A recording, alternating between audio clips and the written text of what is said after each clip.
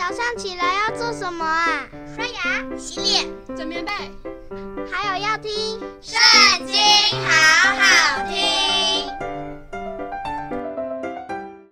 大家好，又到我们读经的时间喽。今天呢，我们来看到《创世纪》第二十六章。在亚伯拉罕的日子，那地有一次饥荒，这时又有饥荒。以撒就往基拉尔去，到非利士人的王亚比米勒那里。耶和华向以撒显现，说：“你不要下埃及去，要住在我所指示你的地。你寄居在这地，我必与你同在，赐福给你，因为我要将这些地都赐给你和你的后裔。”我必坚定我向你父亚伯拉罕所起的事，我要加增你的后裔，像天上的星那样多，又要将这些地都赐给你的后裔，并且地上万国必因你的后裔得福，都因亚伯拉罕听从我的话，遵守我的吩咐和我的命令、律例、法度。以撒就住在基拉尔，那地方的人问到他的妻子，他便说：“那是我的妹子。”原来他怕说是我的妻子，他心里想，恐怕这地方的人为利百家的缘故杀我，因为她容貌俊美。他在那里住了许久。有一天。非利士人的王亚比米勒从窗户里往外观看，见以撒和他的妻子利百加戏玩。亚比米勒招了以撒来，对他说：“她实在是你的妻子，你怎么说她是你的妹子？”以撒说：“我心里想，恐怕我因她而死。”亚比米勒说。你向我们做的是什么事呢？民中险些有人和你的妻同寝，把我们陷在罪里。于是亚比米勒小谕众民说：“凡沾着这个人或是他妻子的，定要把他治死。”以撒在那地耕种，那一年有百倍的收成，耶和华赐福给他。他就昌大，日增月盛，成了大富户。他有羊群牛群，又有许多仆人。非利士人就嫉妒他。当他父亲亚伯拉罕在世的日子，他父亲的仆人所挖的井，非利士人全都塞住，填满了土。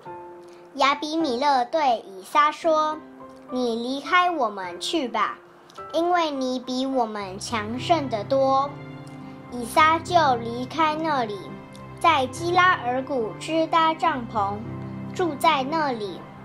当他父亲亚伯拉罕在世之日所挖的水井，因非利士人在亚伯拉罕死后塞住了，以撒就重新挖出来。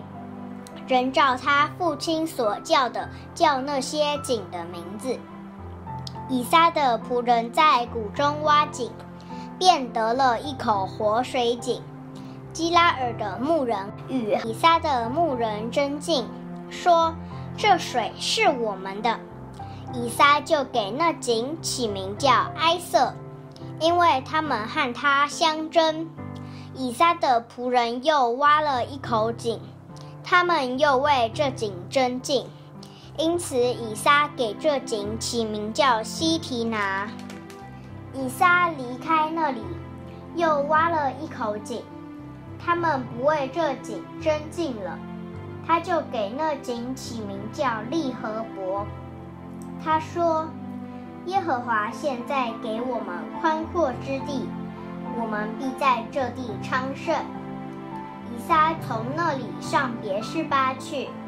当夜，耶和华向他显现，说：“我是你父亲亚伯拉罕的神，不要惧怕，因为我与你同在，要赐福给你，并要为我仆人亚伯拉罕的缘故，使你的后裔繁多。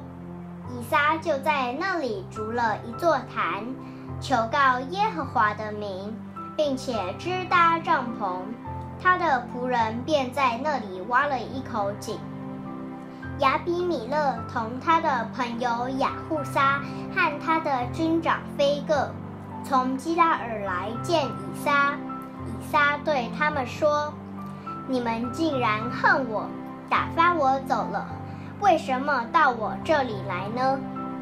他们说：“我们明明的看见耶和华与你同在，便说，不如我们两下彼此起誓，彼此立约，使你不害我们，正如我们未曾害你，一味的厚待你，并且打发你平平安安的走，你是蒙耶和华赐福的了。”以撒就为他们设摆筵席，他们便吃了喝了。他们清早起来，彼此起誓。以撒打发他们走，他们就平平安安的离开他走了。那一天，以撒的仆人来将挖井的事告诉他说：“我们得了水了。”他就给那井起名叫示巴。因此，那城叫做别是巴，直到今日。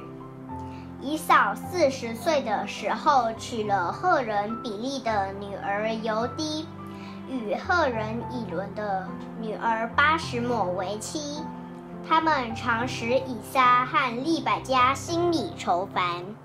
今天的影片就到这边结束了，下次还要记得跟我们一起读圣经哦，拜拜。